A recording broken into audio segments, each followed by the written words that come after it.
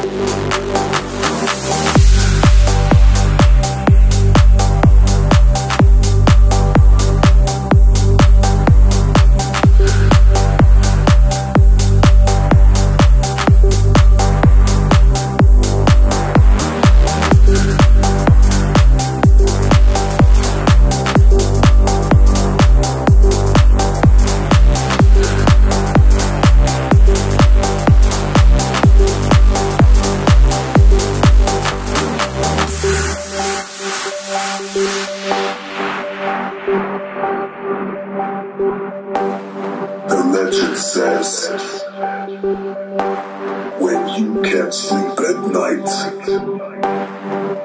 it's just because you are awake in someone else's dream.